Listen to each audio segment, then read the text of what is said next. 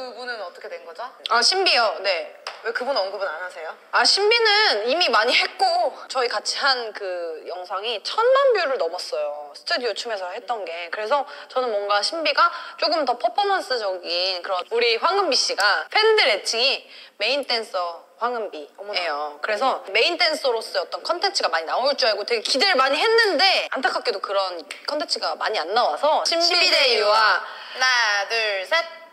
잠깐만. 나는 그니까 너가 신비랑 유아랑 다 몰라. 그냥 미디어로만 본 사람들이야.